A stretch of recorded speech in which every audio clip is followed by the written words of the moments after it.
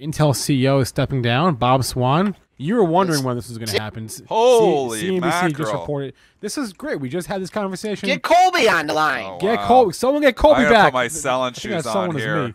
Where did this get to, Joel? Give, I'm going to sell this thing 57, today. This get- 57, 57 This is getting bid for overdone. size. Let's see if They anybody hated this stock two weeks ago. Now they love it. this market is so finicky. clearing 56.23. Oh man, let's see if we can drill down on the dailies. Do you got an iceberg there at 57, Dennis? Is that you? I thought about selling at 52 the other day. I'm sure glad I didn't do that. It's 57. This thing gets to 60. I'm getting the hell out. so. How do you think it feels? Going 59.85. If it gets there, I'm selling it I- today. we know what we ran out of time, but I almost asked Colby about Intel because he got a lot of the CEO Oh, got a lot look of at that gap at 60. on that last conference call. Yeah. If they hire. Lisa Su, though, just Oh. that, we're We gotta get her bad on the rumors show. on this show. Wow. That's what turned AMD around, though. I mean, Intel has lost. How long has Swan been in there? On, Uh, on not his- long.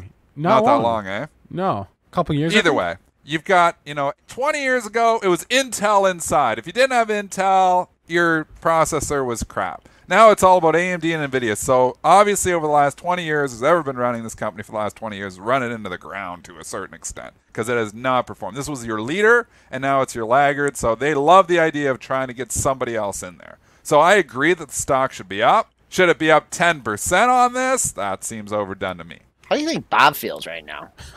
AMD, look at the relationships here too. AMD chats all over it, getting smacked too. So you got AMD and Nvidia both going down on this because whoa, Intel, we got new leadership. Maybe they're gonna competition coming. You know what? And then and Intel or well AMD, well it hit its all-time high. It was a little weak yesterday in a strong market. Nvidia has just had this crazy trading range.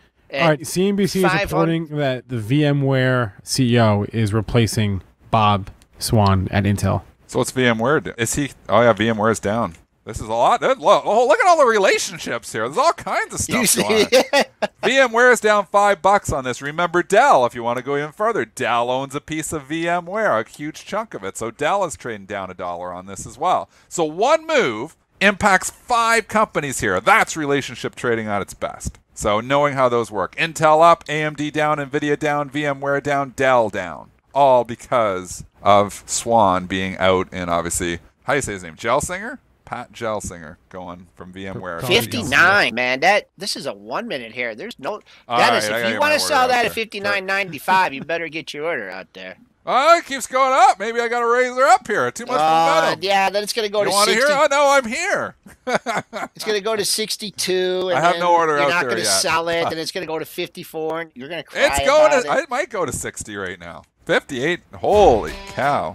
Now Robinhood's got a hold of it now. When Robinhood gets a hold of it, whoa!